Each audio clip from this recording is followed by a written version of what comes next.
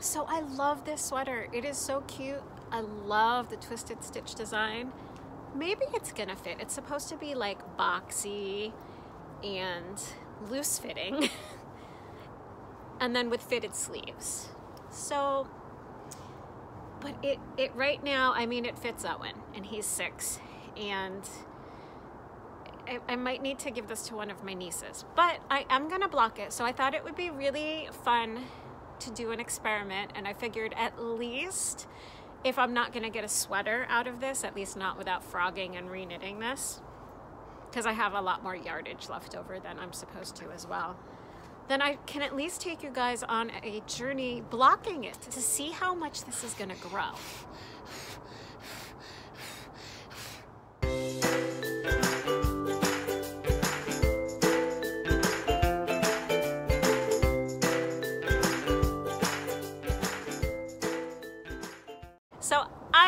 Finished binding off this really adorable sweater. But it's not a kid sweater. The sweater is supposed to fit me. And as you can see, it's, it's really little. It's really, really, really, really little, even for me.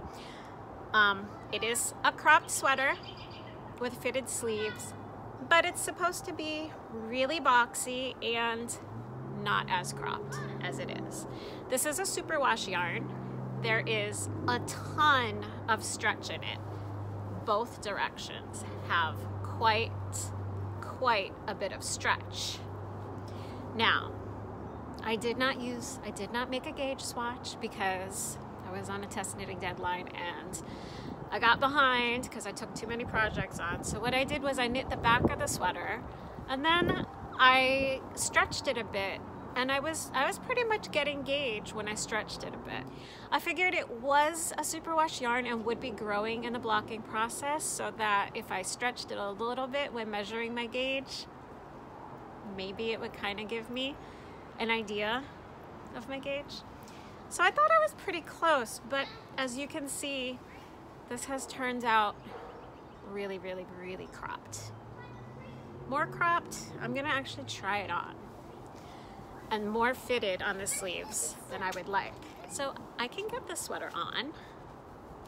I can get the sweater on and it kind of sort of covers my boobs, but I, I don't have a lot of, this is really tight. I'm not really sure that this is gonna be a salvageable sweater for me. This is how, this is where we're starting. So I don't, I do not have high hopes of this blocking out to be a sweater that I am going to be able to wear. Maybe, probably not. But I figured for the sake of the video, my channel, we can do a oops, I messed up kind of experiment and see how much we can grow this thing in the blocking process. So let's try it.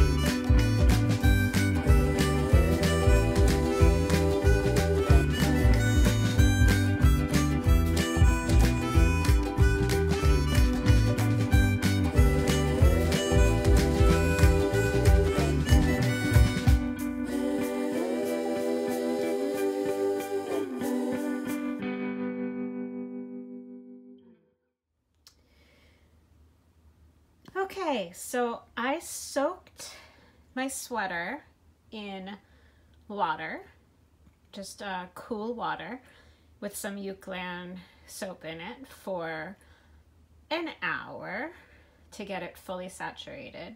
And then I jelly rolled it in some towels and stomped all the water out of it, or as much as I could.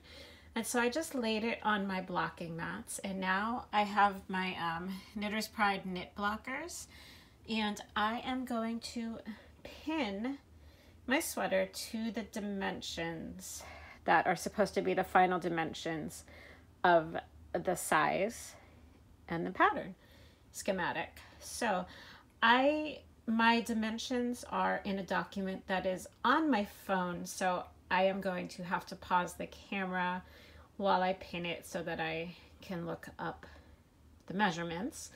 Um, but I'm going to go get my tape measure and I've got my pins and I will check back in with you when I've got this blocked out. Okay, so my first measurement was the bust circumference and that is 22 inches. So I've got my measuring tape and it was really easy to stretch the bottom of my garment to 22 inches. So I still have to stretch the top of it out that far.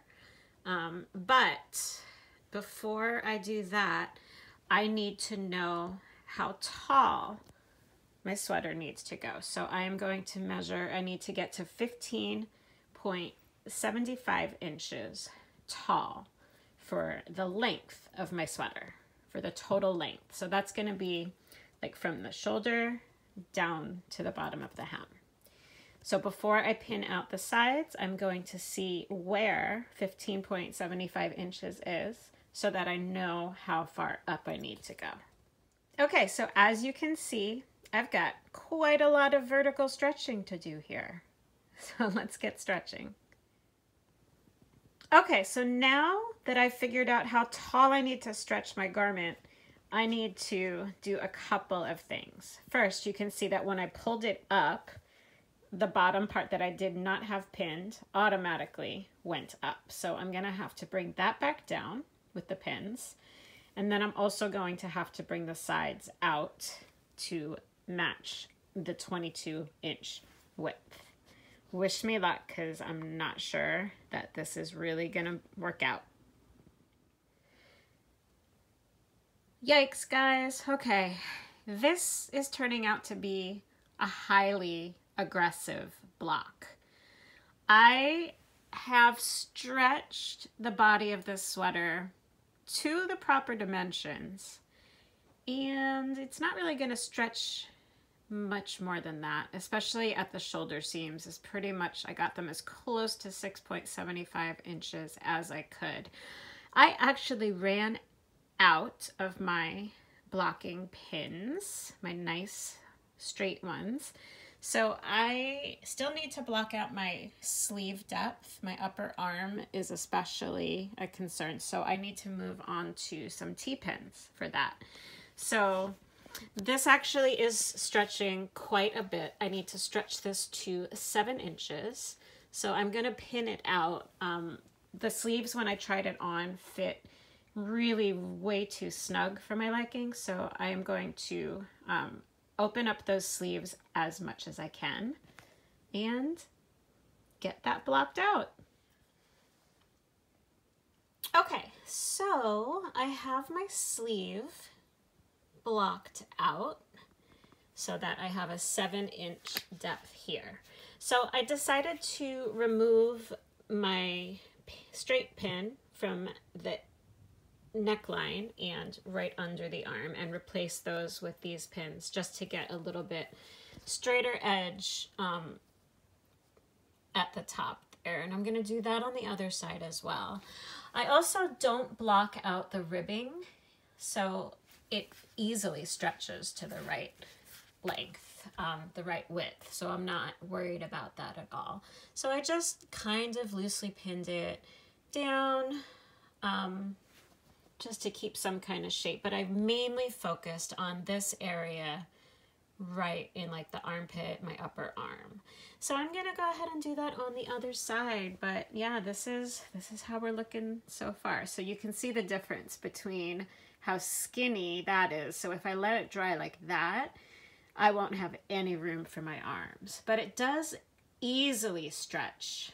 Easily, easily, easily. So that actually was not a problem. It was just a little bit time consuming. But I'm to go ahead and get it blocked out.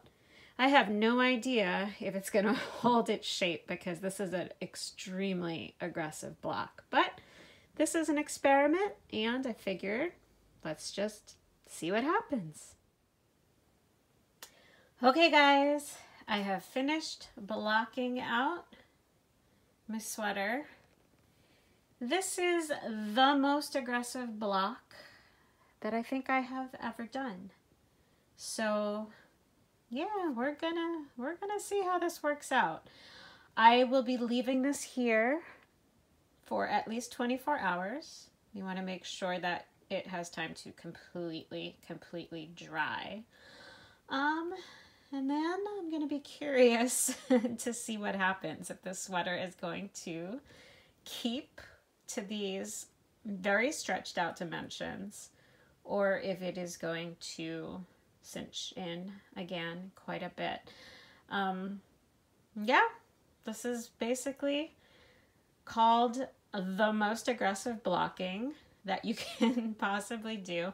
I'm not too worried about um, all of the T-pins in the arms. I don't usually block um, my sleeves out that much, but usually I'm not having to have so many of these pins on the body. So I'm usually able to have just a couple of the chunkier pins.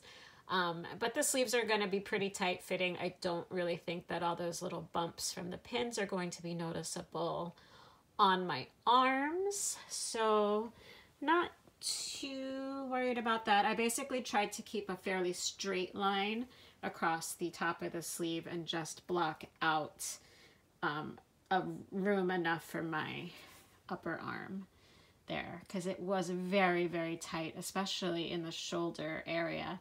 So this was a, a sweater that was knit in pieces but the arms the sleeves were picked up from the body of the sweater. So another option that I could have done would have been to block the front and the back before sewing them together. Usually that's what I would do but I was running on a pretty tight deadline, so I just did my mattress stitch at the selvage edges and decided to hold off on the blocking until the sweater was complete.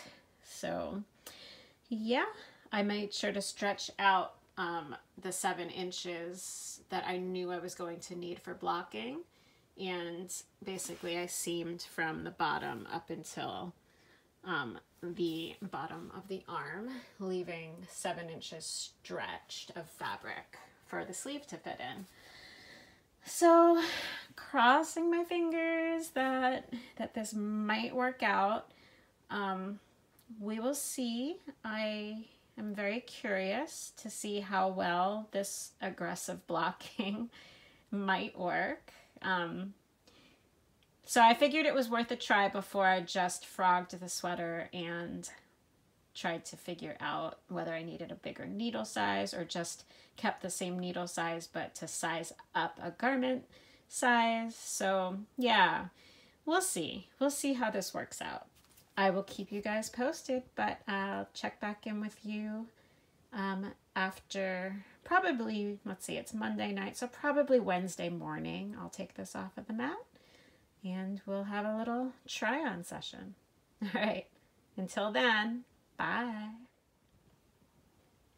Okay, guys, here we are. It is actually Tuesday night, and my sweater feels pretty dry. So I am going to attempt to remove the pins. You can see that I already took out all of the T-pins, and um, the sweater so far has, you can see it is keeping shape.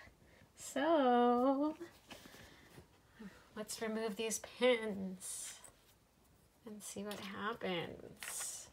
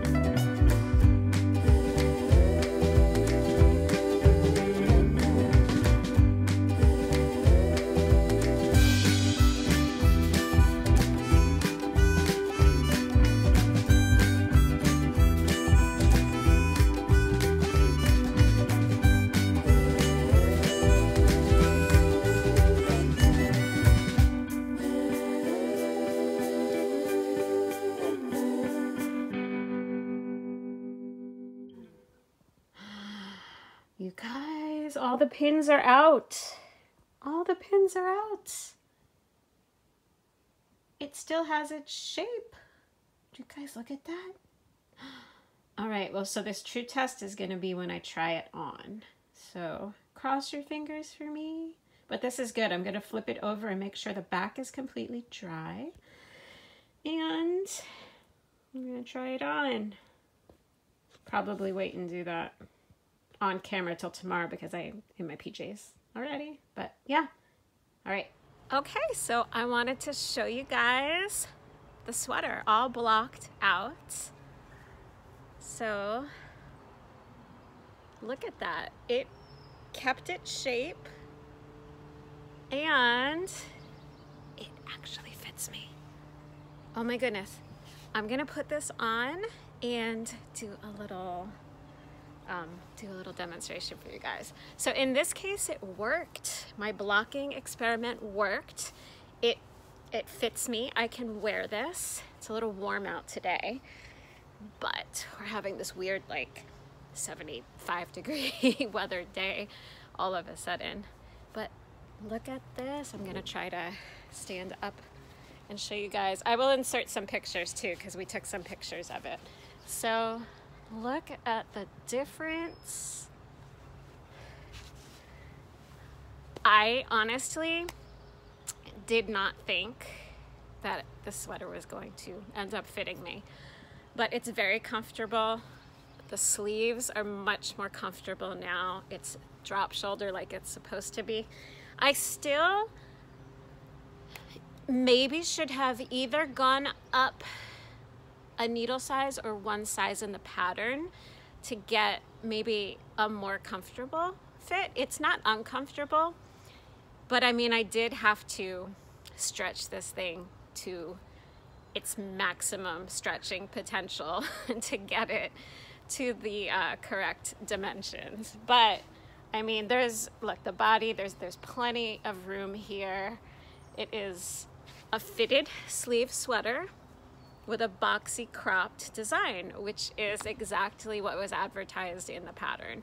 So thank goodness I feel like this is now a sweater that I can enjoy wearing and we had a successful blocking experiment. Um, I would not rely on being able to block out your knitted garments to the extent that I have. I've two times I've had um, I've had this happen where I tried on my sweater because I didn't exactly do gauge swatch beforehand and um, was just kind of crossing all of my fingers and toes in the blocking process that it would work out and it did work out for me both times. Um, and the other sweater is one that I wear frequently and have enjoyed for a couple of years already. So I can see I can see that I will, in fact, be able to wear and keep this sweater. Sorry to my niece who will not be getting this sweater unless I gain some weight, which could happen if I gain weight and can't wear it anymore, then I will pass it down to my 13 year old niece. Um, yeah, but I am absolutely thrilled with this experiment. This pattern is the Earth Folk sweater think that's what it's called, Earth Folk, and it is by Annie Lupton of Boho Chic Fiber Co. And I was a test knitter for her. And by the time this video is up, the pattern will be released. It is coming out on April 29th.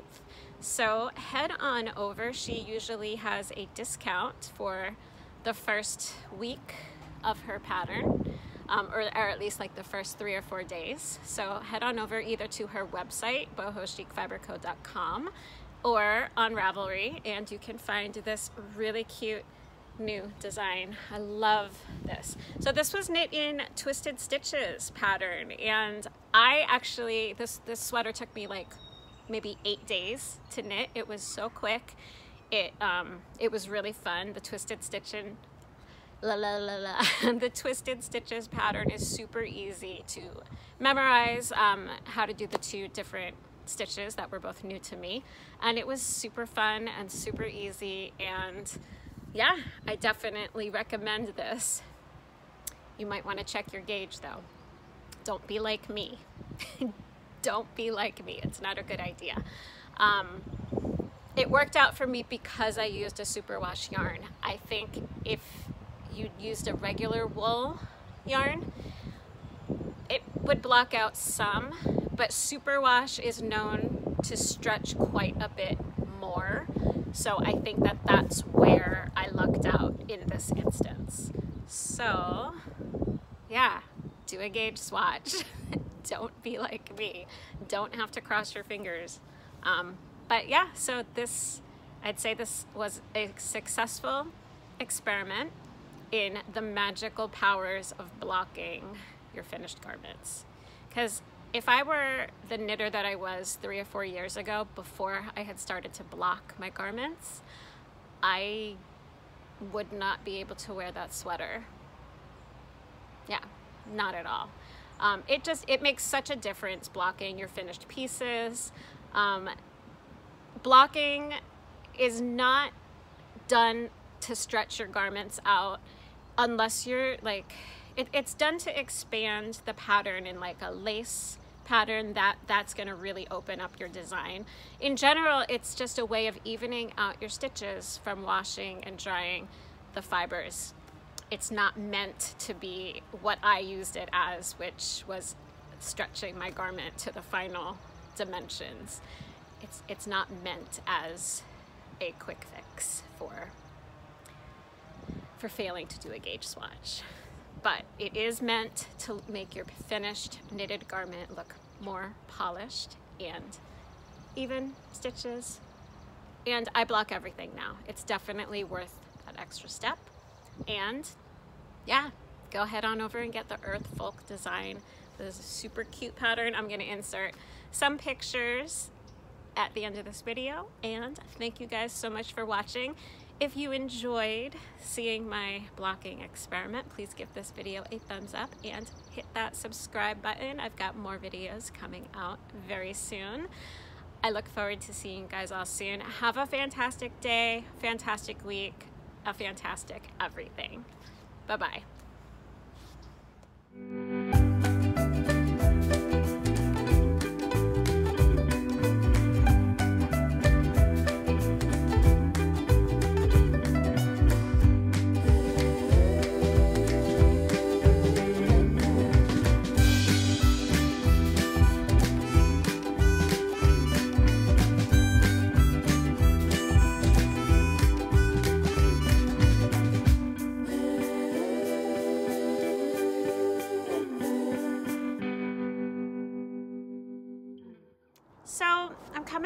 Today because I just finished this adorable sweater and this sweater is not supposed to be for an adorably silly kid.